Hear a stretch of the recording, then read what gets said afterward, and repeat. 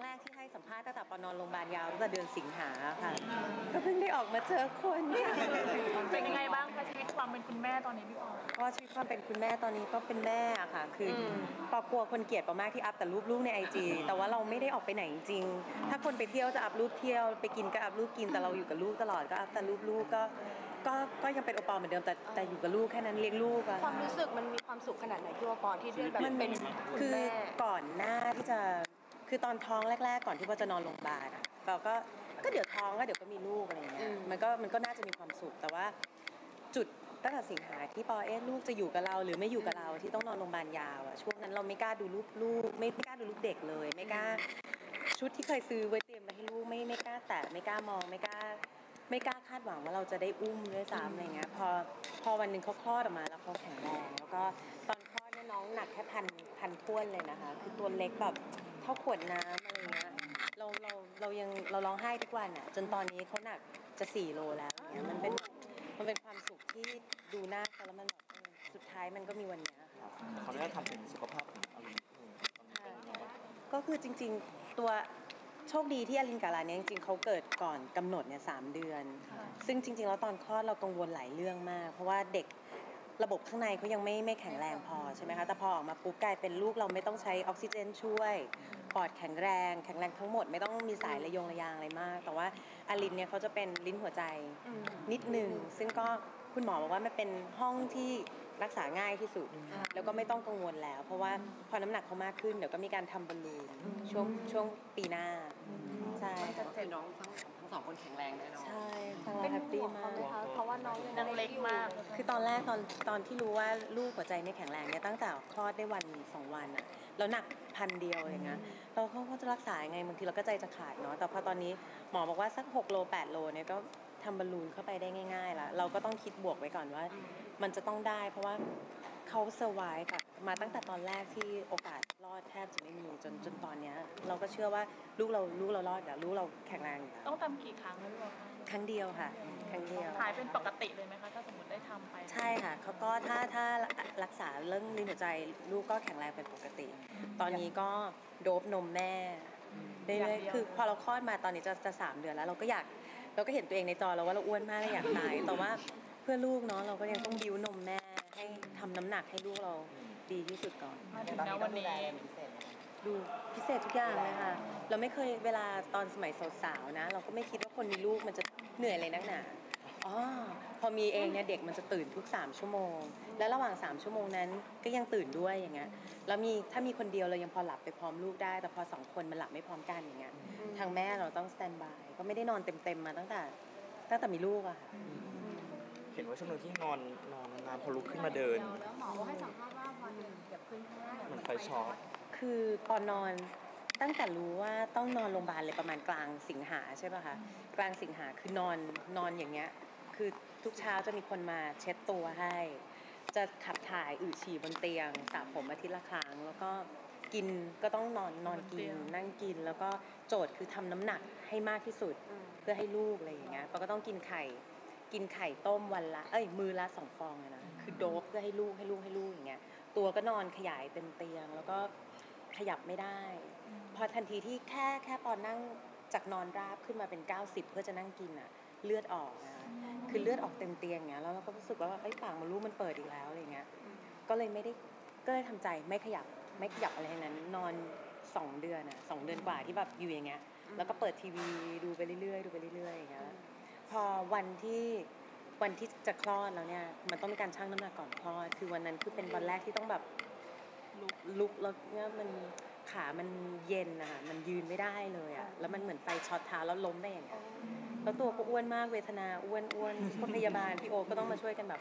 โกยปอขึ้นเลยอย่างเงี้ยค่ะจนตอนนี้ก็ยังยังเดินไม่ค่อยได้ดี เพราะว่าเหมือนเรานอนนานแล้วมันยึด ตรงสะโพกอะไรเงี้ยเวลาเดินจะเหมือนไทแรโนซอรัสนะเนี่ยพอมีคนพยุงตลอดนะมันจะกึกกักกึกกักอะไรอย่างเงี้ยมันยังไม่ค่อยได้ท้อใจยังไงบ้างคะตอนนั้นมันแย่มันแย่มากค่ะเพราะว่าวันที่ไปหาหมอคือวันที่ปอคิดแค่ว่าคือการฝากท้องอะพรุ่งนี้ปอถ่ายรายการหาหมอเสร็จปอจะไปเล่นโยคะต่อแล้วนะชีวิตดีดีแล้วเราไม่คิดว่ามันจะเกิดสิ่งนี้กับเราอะ มันการนอนปอยอมนอนยอมนอนได้เป็นปีเลยอะแต่ที่มันแย่คือ เราไม่รู้ว่าลูกเราจะแข็งแรงหรือเปล่าคือตอนนั้นไม่มีใครการันตีได้เลยว่าลูกเราจะรอดหรือเปล่าที่ซ้ำอะแล้วเราถ้าไม่เป็นพ่อแม่ไม่เข้าใจคือ ให้เราตายแทนก็ได้หรือว่า ให้เรานอนอีกเป็นปีก็ได้ถ้าลูกเราออกมาแข็งแรงคือคือตอนนั้นมันไม่ใช่หลายคนส่งเกมมาให้เล่น เอาหนังสือมาให้อ่านมันไม่มี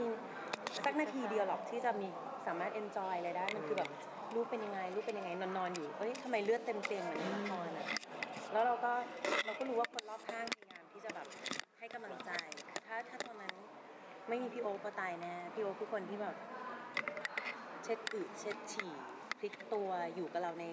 ตอนนั้นปาพยายามพี่โอขอกระจกหน่อยขอกระจกหน่อย คือเราอยากเห็นเราไม่ได้ดูกระจกเลยแต่มัน เรารู้แต่ว่ามือเราบวมจนอุ้ยแหวนแต่งงานใส่ไม่ได้ ข้อมันแบบ มันมันแย่มากเขาก็ไม่ให้ดูกระจก แต่เขาก็ไม่เคยเป็นไหนนะคือถ้าถ้าไม่มีพ่อแม่ไม่มีพี่โอตายแน่ๆเพราะว่ามันมันไม่ได้หดหู่แค่ตัวเรา มันคือลูกเราลูกเราลูกเราเขาบอกว่าช่วงที่โอปออยู่ในช่วงวิกฤตอะไรอย่างเงี้ยเขาแอบร้องไห้คนเดียวหลายครั้งใช่เรื่องนี้คือพี่ปอเดินหน้านิดนึงพี่โอ๊คปอจะนอนโรงพยาบาลแล้วพี่โอ๊คก็จะมานอนในห้องคลอดคือ ปอไม่ได้นอนโรงพยาบาลห้องพิเศษอะปอนอนใน ICU ห้องคลอดอะ คือปอนอนอยู่ในจุดที่เขาเข็นปอเข้าไปได้ตลอดอย่างเงี้ยอย่างวันนั้นเขาไปทำงานเขาก็ไม่ก็แค่ไปทำงานแล้วปอก็ไม่รู้ว่า คือปอปิดข่าวเลยอะว่าปออะไรยังไงเพราะปอไม่อยากตอบคำถามคนมันเศร้าที่จะต้องบอกว่าเราเป็นอะไร ไม่อยากให้ใครมาสงสารอะไรเงี้ยจนวันนั้นทำไมคนแท็กข่าวอะไรมาวะพี่โอ๊คอุ้ยพี่โอ๊คสัมภาษณ์อุ้ยพี่โอ๊คร้องไห้ ตอนนั้นเราก็เลยรู้ว่า ที่เราเห็นเขาพยายามยิ้มพยายามเข้มแข็งพยายามอ่านหนังสือให้เราฟังจริงๆเขา เขาก็แย่มากอะตอนนั้นแต่มันก็เหมือนกับต้องพยุงพยุงกันไปให้ได้ตอนนี้กำลังใจเต็มที่แล้วกำลังใจเต็มที่ค่ะมันมันทำให้รู้จริง ๆ มันเราต่อรองกับความตายไม่ได้ คือก่อนหน้านี้เราไม่เคยไม่เคยรู้สึกว่ามีอะไรที่เราจะทำไม่ได้ ทุกคนตั้งใจเราจะต้องทำได้ไม่ไม่จริง เราต่อรองกับความตายไม่ได้เรา เราไหว้พระทุกวันเราขอให้ลูกเราแข็งแรงเราอะไรอย่างเงี้ยมันมันต่อรองกับอะไรไม่รู้อะไรอย่างเงี้ยจน จนเป็นกำลังใจจากคนรอบข้างมันทำให้ให้ค่อยๆ เข้มแข็งขึ้นเข้มแข็งขึ้นแล้วเห็นคุณค่าในสิ่งที่มี ถ้าถ้าไม่เกิดสิ่งแบบนี้เราไม่รู้เลยว่าเราเราได้อยู่กับคนที่ดีที่สุดอย่างพี่โอคหรือว่า การได้อุ้มลูกเนี่ยมันคือแบบมันคือที่สุด เพราะตอนเราคลอดลูกออกมา มันไม่เหมือนโมเมนต์ในห้องคลอดที่เอามาถ่ายรูปกันพ่อแม่ลูกอะตอนนั้นเราเห็นหมอยืนปลายเตียงเต็มเลยพออุ้มลูกมาเรา เราลุ้นแค่ว่าลูกเราร้องใช่ไหมถ้าเขาไม่ร้องเราเราตายตรงนั้นเลยนะอย่างเงี้ยพอเขาร้องไปนเสียงเบาๆมาแล้วแบบ เคโล่งหมอเอาเข้าตู้วิ่งเข็นไปแล้วเราไม่ได้อุ้มลูกเลยอะจนกว่าเราจะต้องเข็นรถกว่าหลายวันเป็นเดือนอะกว่าที่เขาจะเอาลูกออกจากตู้แล้วตัวแค่เนี้ยมาใส่อกเราได้เนี่ยมันแบบคนที่คลอดลูกแล้วอุ้มลูกกลับบ้านได้เลยตอนนั้นเวลาเราดูรูปดูไอจีเราจะแบบเขารู้ไหมว่านั่นคือดีแค่ไหนกับเราที่ต้องทิ้งลูกไว้โรงพยาบาลอีกตั้งสองเดือนเนี่ยมาถึงวันนี้กลัวกับการมีน้องครั้งต่อไปไหมพี่ปอเอาจริงๆนะคะกลัวสิคะคุณคะไม่เสี่ยงแล้วค่ะอ่าก็คือ เดชะบุญที่มาคู่เนาะที่มาครบหญิงชายคือเราไม่ต้องการอะไรแล้ว แต่ว่าก็ปรึกษาหมอเหมือนกันว่า ถ้าถ้าเรามีลูกอีกเนี่ยโอกาสหมอก็บอกว่าจะต้องถึงอาจจะถึงขั้นเย็บปากบนลูกแล้วนอนเหมือนเดิมทางเราก็ไม่อยากเย็บปากบนลูกเนาะเพราะเรากังวลก็เลยไม่เอาแต่น้องทั้งสองคนเป็นขวัญใจแบบว่าเออโซเชียลหไปลายคนแล้แบบวรอลุ้นดูน้องรู้สึกไงบ้างคะก็อย่าคาดหวังอะไรกับลูกดิฉันเลยเพราะลูกสาวหน้าเหมือนปอมากจริงๆแบบ เหมือนปอก่อนทำจมูกอะแบบลูกลูกลูกไม่ได้จมูกพ่อเนาะอย่างเงี้ยแต่ลูกชายเขาก็จะโขกบล็อกพ่อมาเลย อันนี้เราก็รุนรุนโล่งใจอ่าเหลือลูกสาวเราก็พยายามถึงเราจะไม่สวยมากเราต้องมี attitude นะลูกเออ attitude build prop ไปก่อนครับพี่ป้องหลังจากนี้จะกลับมารับงานปกติไหมอุ๊ยเราต้องขอบคุณทุกทุกคนที่จ้างเรานะคะ ที่เราหายพอทันทีที่เรานอนโรงพยาบาลอะรายการต่างๆที่เราทำหาคนมาแทนมั่วไปหมดแล้วเราก็เขาก็ยังไม่เลิกจ้างเราขอบคุณมากจริงๆค่ะหลัง มกรากลับไปทำงานได้แล้วทั้งอีเวนต์ทั้งทั้งรายการใดๆใช่แล้วน้องก็คิดถึงใครงานจะดูตอนนี้สนุกมากเพราะว่าทันทีที่คลอดมาปุ๊บพี่โอ๊คต้องลางาน full-time ที่โรงพยาบาล แล้วก็สลับมาดูลูก แล้วเราโชคดีมากที่มีทั้งคุณปู่คุณย่าคุณตาคุณยายเราผลัดเวรกันมาดู อย่างพวกนี้คุณปู่คุณย่าปอพี่โอ๊คทำงานอะคุณตาคุณยาย standby อะไรอย่างเงี้ยก็หายห่วงพี่ปออย่างเดือนมกราเนี่ยที่เรากลับมารับงานมันจะมีผลกระทบอะไรไหมคะเพราะว่าเราก็ยังเดินแบบไม่สะดวกเท่าไหร่อ๋อ ผลกระทบทางการเดินพี่ว่าพี่สู้ เราใช้ backstage ช่วยพยุงเราขึ้นมา แต่ว่าอย่างรายการอะไรที่ถ่ายกันแล้วเนี่ยอย่างสมรภูมิพรมแดงซึ่งเป็นรายการที่ถ่ายตั้งแต่อ้วนมากจริง ตอนนั้นพอเพิ่งคลอดได้เดือนกว่าอย่างเงี้ยยังเดินไม่ได้เขาก็จะให้นั่งเก้าอี้อะไรเงี้ยเหมือนกับทุกเจ้าก็เข้าใจอย่างเงี้ยก็สู้นะทุกวันนี้กลับมาลดเหมือนเดิมไหมคะหรื อว่าลงไปตอนเยอะตอนท้องเนี่ยปอกะว่าปอต้องขึ้นมาแบบเพราะปอนอนกินน่ะ กินไข่ต้มวันละมื้อละสองฟองเนี่ยปอคิดในใจว่าตายแล้ว ถ้าชั่งน้ำหนักมันฉันต้องหนักขึ้น 20-30 โลแต่ว่าพอวันที่ชั่งปอขึ้นมา 17 โล ตอนนี้ลงไป 12แล้วเธอเราเหลือ5ลองเลี้ยงลูกเอง คุณจะรู้คุณไม่ต้องไปลดน้ำหนักที่ไหน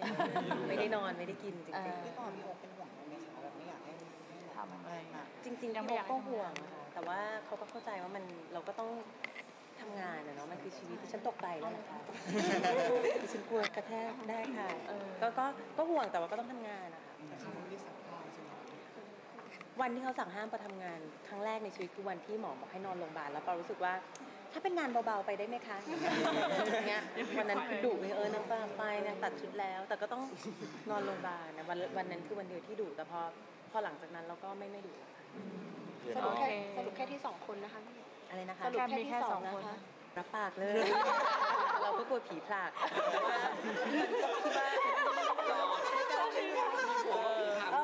ากัวก็ผีผักรู้ก็ผีผักตอนนี้สองคนโอเคแล้วเลี้ยงค่อย ๆ เลี้ยงไปก่อน ถ้าในอนาคตมีอีกเดี๋ยวทำหมันไหมคะไม่ทำค่ะไม่ทำเผื่อหวัดเลยไม่ทำโอเคค่ะ